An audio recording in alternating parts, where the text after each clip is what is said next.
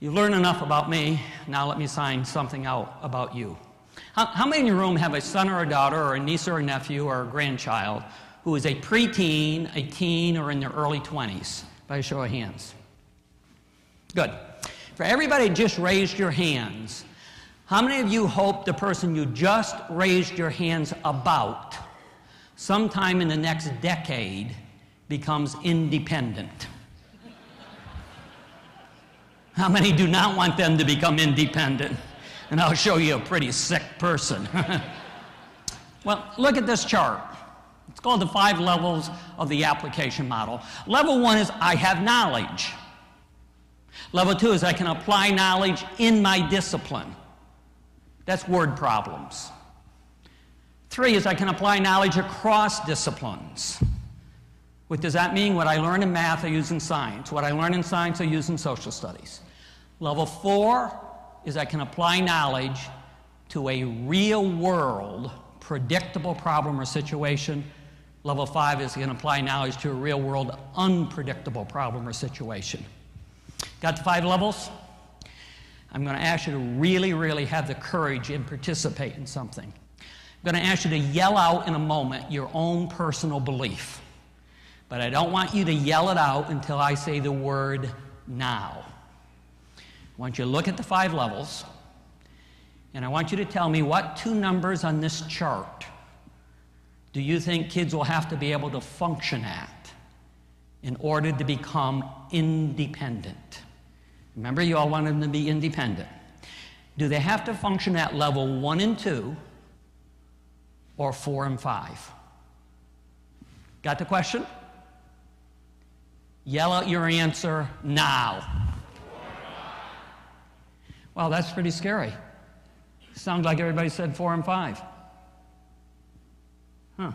I guess it means it borders on common sense. Let me push my luck. We have done under a contract an analysis of your state testing program in every state testing program in the country. Virtually every question on every state test measures two numbers on this chart. What two numbers do you think it is? One and two or four and five, folks? We just defined the problem. We have become fixated like, a na- like crazy as a nation on one and two in an attempt to prepare kids for four and five. Now, there's nothing wrong with your state test. There's nothing wrong with one and two. I can't get to four and five if I don't have one and two. Here's the problem we've let one and two become the end line of American education rather than the beginning line of American education. The real world's got to get you to four and five. And the group that's pushed school reform so hard in this country for three decades has been business. And often we talk about the problem, but we haven't defined it. The problem is we are, we are not teaching young people how to apply the knowledge we're teaching them. And if you don't uh, use it, you lose it. To drive that home, we're going to pull 20 of you out of this room. And we're going to send you next door in just a moment.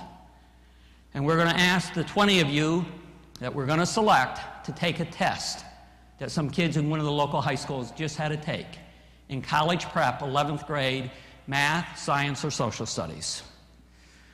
We got some teachers that graded, uh, will grade the papers.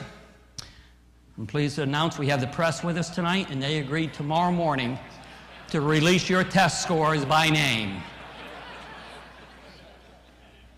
But this is a democracy, so I think we should vote on who they are.